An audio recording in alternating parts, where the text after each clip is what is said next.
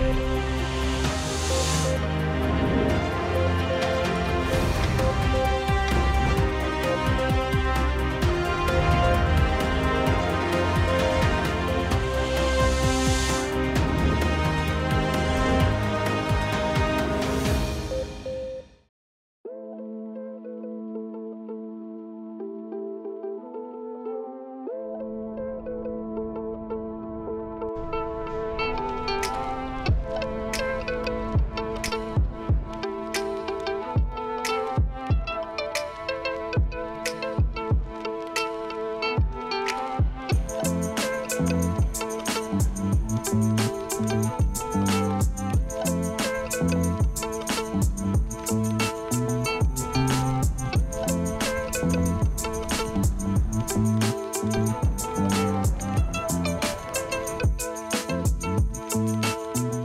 नाम डॉक्टर अरशद महमूद मलिक है।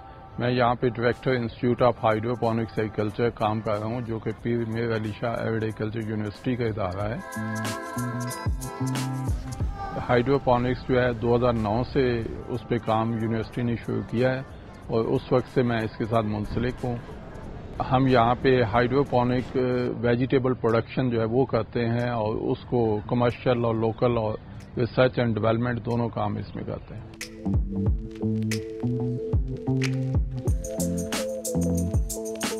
Food security जो है, दुनिया का मेन कंसर्न है। पॉपुलेशन जो है, वो बड़ी तेज़ी से बढ़ रही है। अब इसी तरह जो रिसोर्सेज हैं, वो भी उसी स्पीड से एक्सपोनेंशियली बढ़ेंगे तो तब जाके मुल्क के अंदर फ़ूड सिक्योरिटी का मसला हल होगा। अब पाकिस्तान में, जो हम अगर देखें, पिछले 50 सालों में हमारी जो वेजिटेबल की यील्ड है, वो अटमोस्ट कांस्टेंट है, उसमें कोई सिग्निफिकेंट इम्प्रूवमेंट नहीं हुई। और उसकी वजह यह है कि उसके अंदर टेक्नोलॉजी का जो एप्लीकेशन वो नहीं आई अभी जो हाइड्रोपोनिक्स है, ये इनोवेटिव टेक्नोलॉजी है जो कि प्रोडक्शन को यकदम बूस्ट करती है। तो इस वजह से लोग ज़्यादा इसकी तरफ़ मूव कर रहे हैं और ये टेक्नोलॉजी दुनिया में बहुत फेवरेट होती जा रही है। जो आम प्रोडक्शन हमारी है, वो ज़मीन के अंदर होती है। जैसे हम पौधा घर में लगाते हैं, वो भी ज़मीन के अंदर पैदा होता है। जबकि हाइड्रोपोनिक्स जो है, इसमें हम पानी में पौधे को पैदा करते हैं। यानी ज़मीन का इससे कोई ताल्लुक नहीं होता। ये ज़मीन के बगैर यहाँ पे पौधा पैदा किया जाता है। और ये पौधा जो है चूँकि बड़ा कंट्रोल्ड एनवायरनमेंट में होता है, इस वजह से इसमें प्रोडक्शन भी ज़्यादा होती है और हम इसका ड्यूरेशन भी बढ़ा लेते हैं। दूसरा बड़ा इसमें जो सिग्निफिकेंट डिफरेंस है, वो है क्लाइमेटिक कंट्रोल का। आप अमूमन देखते हैं कि स्प्रिंग के सीज़न में बहुत अच्छी सब्ज़ियाँ होती हैं। आपके घर में पौधे भी अच्छे होना शुरू हो जाते हैं। वजह यह होती है कि उसमें टेम्परेचर जो है, वो पौधों के लिए कंड्यूसिव हो जाता है। आम टेम्परेचर जो पौधे को बहुत अच्छा ग्रो करने के लिए चाहिए होता है, वो 25 डिग्री चाहिए होता है। और ये अमूमन हम देखते हैं मार्च, अप्रैल के महीने में ये टेम्परेचर हो जाता है। सेम अगर हम यही चीज़ देखें तो हाइड्रोपोनिक्स में हम पूरा साल जो है, वो टेम्परेचर को कंट्रोल करते हैं। उसका ये बेनिफिट होता है कि हमारी प्रोडक्शन जो है, वो पूरा साल चलती रहती है।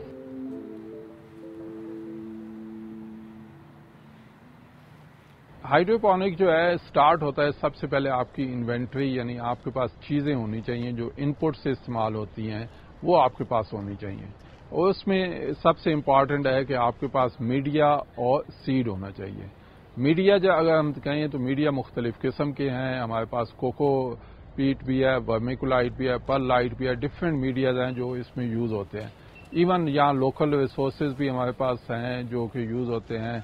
पॉमिक्स रॉक्स हैं बलोचिस्तान में बहुत पाई जाती वो भी इसमें यूज़ हो सकती हैं।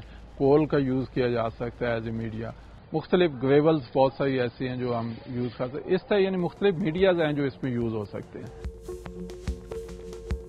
पौधे को आप उगाने के लिए ये मीडिया जो हम लेते हैं, इसको एक ट्रे के अंदर हम डाल लेते हैं। ट्रे में डालने का मकसद ये होता है कि एक छोटे हर पौधे के लिए एक जैसा ही उसको मीडिया मिल सके। ये ट्रे आम जो है, मार्केट में और नर्सरीज में मिल जाती हैं। और ये 64 की होल्स वाली भी होती हैं, इससे बड़ी भी, छोटी भी। मीडिया जब आप फिल कर लेते हैं तो एक एक होल के अंदर एक एक सीड आपने डालना होता है।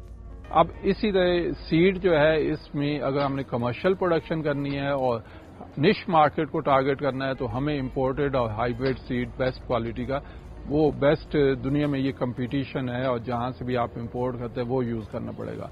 अगर हम खाक के अंदर छोटी प्रोडक्शन लेना चाहते हैं किचन गार्डनिंग के लिए या हॉबी गार्डनिंग के लिए तो उसमें हम कोई भी यूज़, सीड यूज़ कर सकते हैं। जब आप सीड को डाल लेते हैं तो उसके बाद फिर उसके ऊपर हल्की सी लेयर मीडिया की डालना होती है। यानी वो एमएम में होनी चाहिए। ऐसा ना हो कि सीड को बहुत ज़्यादा आप दबा दें और फिर उसके बाद ऊपर से आप उसको पानी देते हैं। पानी देने में ये एहतियात करना होती है कि आप उसको स्प्रे करें पानी और बड़ा फास्ट डायरेक्ट उसको ना लगे।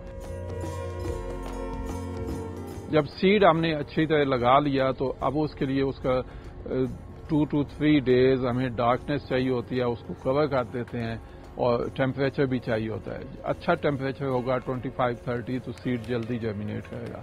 जब सीड जर्मिनेट कर जाता है तो अब उसका अगला स्टेप है कि हम उसको एक ब्लॉक के अंदर शिफ्ट करते हैं। वो ब्लॉक जो है, उसमें जब हम शिफ्ट करते हैं तो उसकी जड़ें फैलना शुरू होती हैं और तकरीबन हम एक महीने तक फ़सल को उस ब्लॉक के अंदर प्रोपोगेशन ब्लॉक जिसको हम कहते हैं, उसमें रख सकते हैं। अगर आपको कहीं भी प्रोपोगेशन ब्लॉक नहीं मिलता तो आप उसकी जगह कप्स को यूज़ कर सकते हैं। तो यूँ आप एक महीने तक उस पौधे को जो नर्सरी मैनेजमेंट हम कहते हैं, हम उगा सकते हैं। बस इंपॉर्टेंट यही है कि उसके हमने टेम्परेचर रेसिपी को मेंटेन करना होता है। इनिशियली हमने उसको न्यूट्रल वाटर देना होता है, यानी वो वाटर जिसकी ईसी जो है, बहुत कंट्रोल्ड और बहुत थोड़ी हो। यानी वो पॉइंट टू या इससे नीचे होनी चाहिए, ताकि वो इजीली जर्मिनेट खा जाए। और सिमिलरली फिर आहिस्ता आहिस्ता जब पौधा बड़ा हो जाता है ट्रू लीव्स निकल आते हैं तो फिर हमें उसके अंदर ईसी जो है, यानी इलेक्ट्रिकल कंडक्टिविटी या इसको कह लें कि पानी के अंदर नमकियात की मकदार, वो नमकियात जो पौधे को ग्रो होने के लिए चाहिए। तो उस लिहाज से वो देना होते हैं और इसकी पॉइंट फाइव तक हम रखते हैं ताकि वो अच्छी तरह ग्रो हो जाए और जब वो पौधा तैयार होना शुरू होता है, फिर हम उसको, अगली स्टेज आती है कि हम उसको स्लैब में शिफ्ट करते हैं। फिर उसको हम पानी रेगुलरली देते हैं। इसमें ये होता है नर्सरी मैनेजमेंट में कि हम दिन में एक से दो दफ़ा मौसम और ह्यूमिडिटी के लिहाज से पौधे को पानी देते हैं, जबकि अगर हम इसका कमर्शियल प्रोडक्शन में या फिर उसको स्लैब में लाते हैं तो हमें हर घंटे बाद इसको पानी देना होता है। क्योंकि ज़मीन से ये जितना मीडिया हम इसमें यूज़ करते हैं, ये मीडिया इनर्ट मीडिया होता है, यानी इसके अंदर कोई न्यूट्रिएंट नहीं होते तो हमें उसमें न्यूट्रिएंट डालने के लिए चाहिए होता है कि आर्टिफिशियली न्यूट्रिएंट ऐड करते हैं। तो इसमें 18 इसेंशियल न्यूट्रिएंट्स होते हैं जो हम इसको सप्लाई देते हैं साथ साथ। सबसे इंपॉर्टेंट जो है वो टेम्परेचर है और उसके बाद ह्यूमिडिटी है। तो समर में हम पैडवाल यूज़ करते हैं और उसके साथ पंखे यूज़ करते हैं जो कि नेगेटिव प्रेशर क्रिएट करते हैं इसके अंदर और यूँ हवा को मूव किया जाता है। जब हवा मूव की जाती है तो उससे यह है कि कूलिंग इफ़ेक्ट पैदा होता है। ये ऐसे ही है जैसे आप घरों में डेजर्ट कूलर लगाए हुए हैं तो सेम वही कॉन्सेप्ट इसके अंदर भी यूज़ होता है। तो यूँ जो समर है उसके अंदर हम कूलिंग करते हैं और विंटर जो है, इसके अंदर टेम्परेचर का भी इशू होता है, इसलिए हमें हीटर यूज़ करना पड़ते हैं। आजकल सब चीज़ें जो हैं कंट्रोल्ड एनवायरनमेंट भी क्रिएट किया जा सकता है। अगर उनके पास एक मरला भी जगह है, या वो छत के ऊपर बना लेते हैं तो वो एक छोटा सा स्ट्रक्चर बना लें, जिसके अंदर कुछ भी ज़्यादा ना करें तो एटलीस्ट प्लास्टिक जो है, वो डाल लेते हैं। अब वो स्ट्रक्चर खड़ा करके उसके ऊपर अगर प्लास्टिक डाल लेते हैं तो उसका फ़ायदा ये होता है कि कुछ वक्त के लिए टेम्परेचर को मैनेज कर सकते हैं। आजकल टेम्परेचर गेज जो है बड़ी सस्ती पाँच सौ हज़ार रुपए में मिल जाती है। वो टेम्परेचर भी और ह्यूमिडिटी भी इंटरनल और एक्सटर्नल दोनों बता रही होती है। तो ये छोटा स्ट्रक्चर भी पाँच मरले में आपको घर में बहुत सारी सब्ज़ियाँ दे सकता है। सेम अगर कोई बंदा चाहता है कि नहीं, उसकी जगह मैं और आसान कर लूँ तो जगह थोड़ी है तो वो गमलों के अंदर भी मुख्तलिफ़, जैसे मिंट है, आपके कोरिएंडर है, आपके पास स्पिनेच है, मुख्तलिफ़ लीफी वेजिटेबल तो बहुत आसानी से उगा सकते हैं। तो ये भी अगर लोग कर लें तो इससे बहुत बड़ा फ़ायदा ये होगा कि आपको हेल्दी फ़ूड जो है घर के अंदर मिलना शुरू हो जाएगा।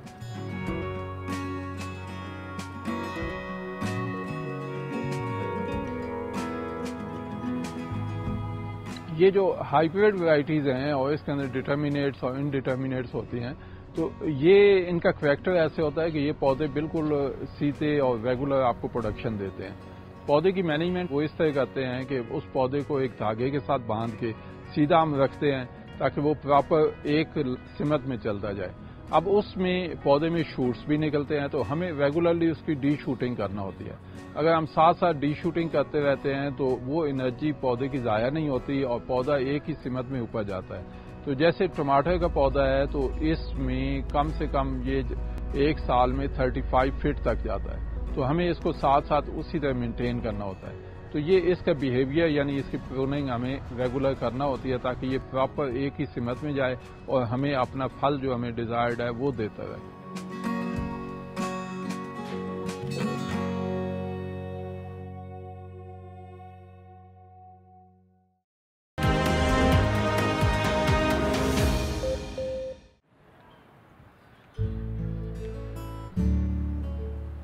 बुनियादी तौर पे ये जो आम हम टमाटर प्रोड्यूस करते हैं, ये हम हांडी के अंदर खटास पैदा करने के लिए प्रोड्यूस करते हैं।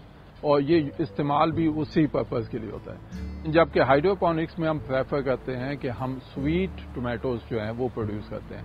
अब वो स्वीटनेस की वजह से ये टेबल टोमेटो होता है और फ्रूट में गिना जाता है, ये वेजिटेबल में नहीं गिना जाता। और इसको, जो खाने में ये बहुत मीठा और टेस्टी होता है, इस वजह से ज़्यादा पसंद किया जाता है। इसी वजह से इसकी डिमांड भी ज़्यादा होती है और इसकी कीमत भी ज़्यादा होती है। और इसमें फिर डिफरेंट उसकी वेराइटीज होती हैं, जैसे चेरी टोमेटो है तो ये बड़ा खूबसूरत छोटा सा अंगूर से थोड़ा सा बड़ा होता है और बच्चे बड़े शौक से उसको खाते हैं। टमाटर में सबसे इंपॉर्टेंट जो है लाइकोपीन होता है। लाइकोपीन जो है एक खास टेम्परेचर पे पौधे के अंदर बनता है। यानी 12 से 32 डिग्री के दरमियान जब टेम्परेचर होगा तो लाइकोपिन बनेगा। अब उसकी निशानी ये आपको बड़ा फल जो है वो रेड कलर का और खूबसूरत नज़र आएगा। तो इसके अंदर जो आम है, वहाँ टेम्परेचर फ़ील्ड में वेरिएशन ज़्यादा होती है।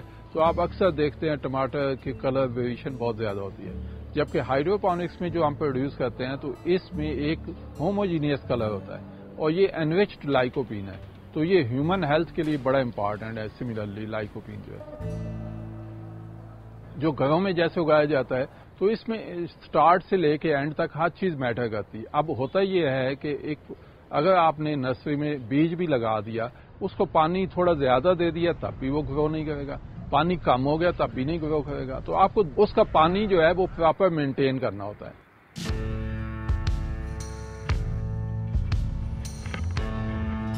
जैसे हाइड्रोपोनिक्स है इस तरह इसकी ये किस्म एक्वापोनिक्स है। तो इसमें फ़िश और पौधे दोनों हम हासिल करते हैं। जो पौधा उगाया जाता है, इसको सबसे ज़्यादा नाइट्रोजन चाहिए होती है। और इसमें ये जो सबज कलर है, वो नाइट्रोजन की मकदार को ही दिखा रहा होता है।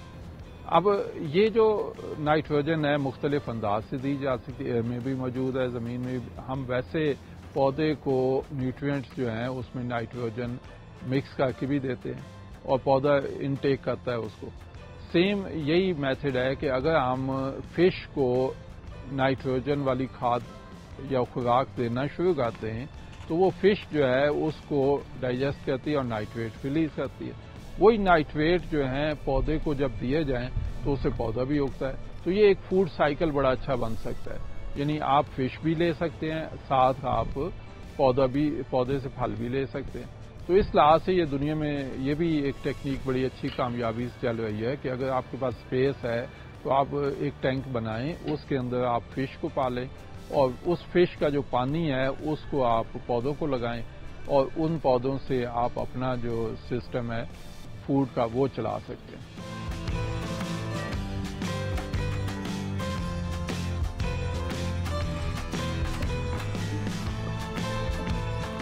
इसमें दोनों अप्रोचेज दुनिया में यूज़ होती हैं। एक है माइक्रो लेवल पे, एक मैक्रो लेवल पे। मैक्रो लेवल पे तो हमें कमर्शियल फ़ार्मिंग इसके अलावा हमारे पास ऑप्शन ही नहीं है। ओपन फ़ील्ड में पाकिस्तान की जो एवरेज प्रोडक्शन आ रही है, वो दस टन आ रही है। जबकि यहाँ पे हमने चार सालों की जो औस्तन प्रोडक्शन ली है, औस्तन यील्ड ली है, वो 162 टन है। और ये मल्टीपल टाइम अगर फैक्टर्स और बेहतर हमारे पास कंट्रोल कर लें तो ये 200 300 टन से भी ऊपर आसानी से ले जाई जा सकती है।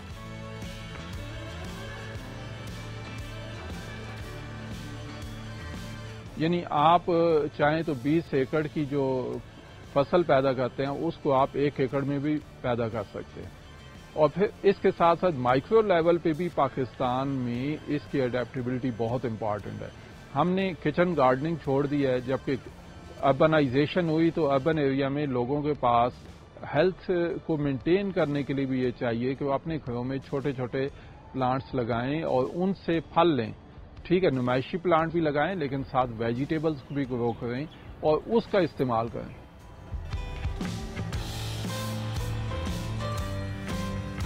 आजकल अगर आप देखें तो हमारे देहातों का सबसे बड़ा अलमिया ये है कि लोग सारा दिन मेहनत करके जो कमाते हैं, वो सब्ज़ी और फल वाली दुकान पे दे आते हैं। अगर उसकी जगह वो अपने घर में ये लगा लें तो ये फ़ूड सिक्योरिटी का भी मसला हल हो सकता है, हमारी न्यूट्रिएंट मैनेजमेंट भी हो सकती है। जो हेल्थ है, ये इश्यूज़ और डेफिशिएंसीज की वजह से आपको पता है न्यूट्रिएंट डेफिशिएंसी से इंसानों के अंदर ज़्यादा बीमारियाँ पैदा होती हैं, ज़्यादा हमें हॉस्पिटल और चीज़ें चाहिए। उसकी जगह पॉजिटिव अप्रोच ये है कि लोग घरों के अंदर अच्छी सब्ज़ी उगाएँ और उसी का इस्तेमाल करें। यानी एक अगर पाँच, छह अफराद जो पाकिस्तान की एवरेज फैमिली साइज़ है, उसमें अगर देखें तो दो मरले में वो अपने पूरे साल की प्रोडक्शन ले सकते हैं। तो वो अपनी किचन गार्डनिंग उससे कर सकते हैं। तो इसकी भी प्रमोशन पाकिस्तान में बहुत ज़रूरी है।